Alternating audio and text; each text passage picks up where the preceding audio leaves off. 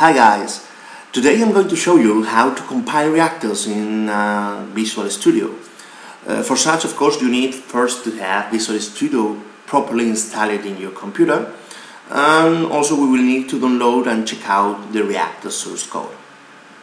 Okay, so to download the source code to check out it, you can use Tortoise SVN, which is uh, an amazing tool, an open source amazing tool. Uh, just download the 32-bit version or the 64-bit version depending on your operating system, but you don't have to perform any special installations, so just install as usual. Tortoise is going to ask you for an URL, which is uh, the way to download uh, our repo. Okay, so here you can find it, just copy it, and I have created a folder called trunk can see here. So just right click on it spin checkout and here place the URL that we have just copied. Just paste it and well select the default settings and click OK. This will begin checking out uh, all the source code all the ReactOS source code. It will take a while so well I'm speeding up this video a little. And after a while you will see that all the files and folders has this green tick which means that they have been properly downloaded in your computer. It will take a while so you can eat a pizza meanwhile. Okay, the second step is to download the, our ReactOS build environment. The ReactOS build environment uh, has several tools that are needed to uh, are needed by Visual Studio to compile ReactOS properly. Just click here and you will begin to light in the building environment. Uh, my main suggestion is to call, to install RosBE or environment Darling C, please.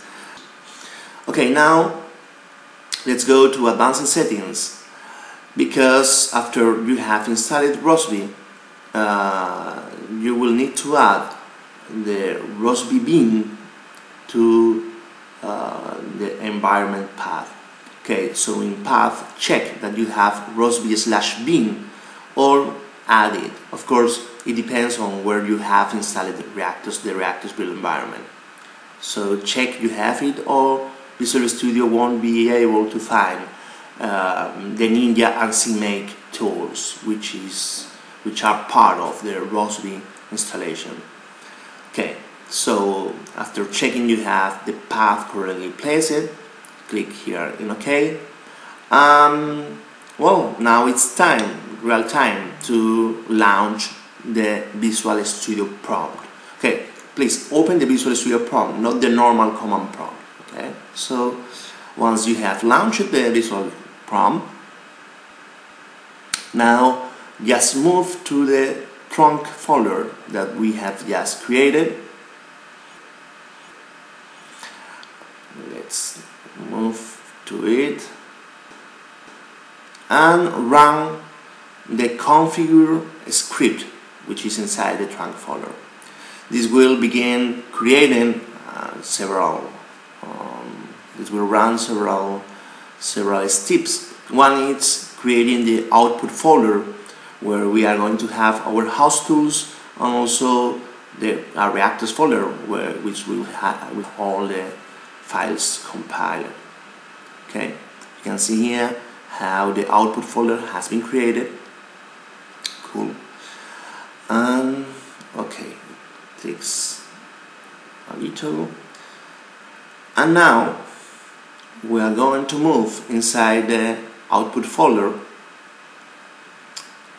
as soon as this ends. Okay, let's move inside the host tools inside the output folder.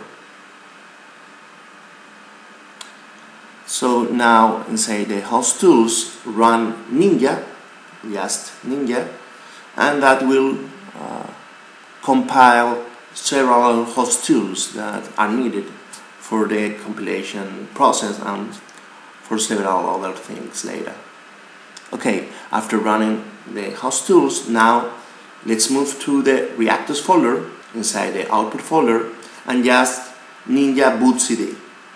With Ninja Boot CD we are going to create a Boot CD ISO which we can burn and install in a normal computer or you can use the boot CD ISO to feed a virtual machine as we have made probably uh, with releases okay so okay the CD is done.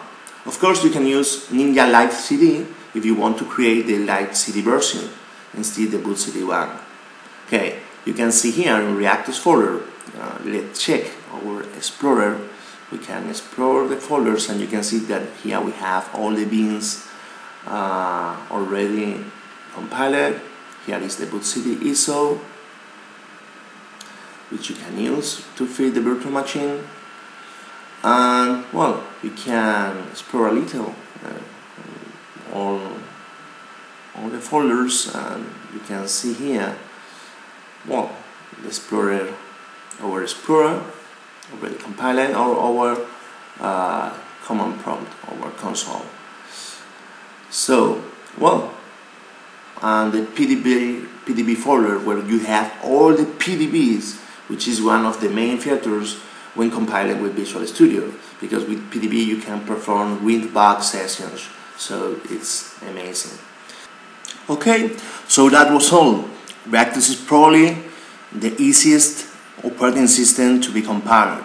Just three commands okay hope to see you soon and hope you like this video. Subscribe please. Thank you